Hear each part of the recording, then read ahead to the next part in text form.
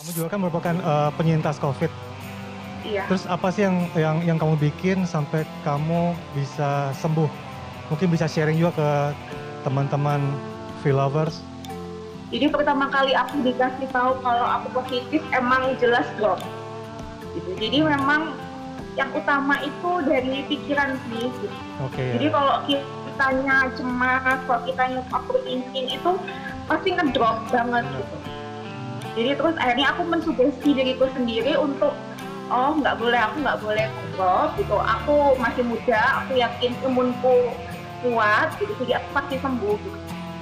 Jadi kayak melakukan hal-hal yang bikin happy aja. Jadi dibuat dibuat happy aja sih gitu. Nggak usah terlalu dipikir yang iya. banget banget dia ini kan kamu ngalamin sendiri kan ya tapi di luar sana masih banyak orang yang menyepelekan nih soal virus COVID-19 ini. Apa saran kamu buat buat mereka? Sebenarnya aku salah satu orang yang dulu berpikiran kayak gitu. Oh.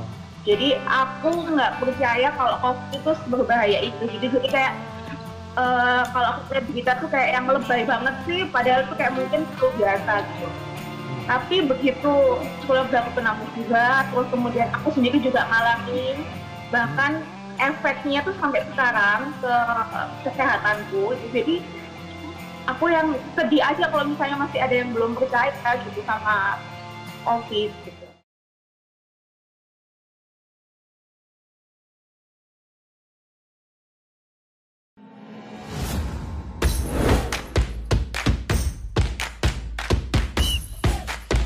Bubur ayam kalau diaduk-aduk jadi cair. Seriously diaduk kayaknya ya.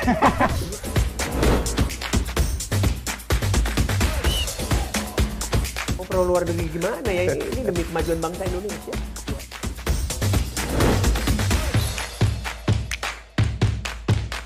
Isu kebangkitan uh, PKI ini uh, dihentikan.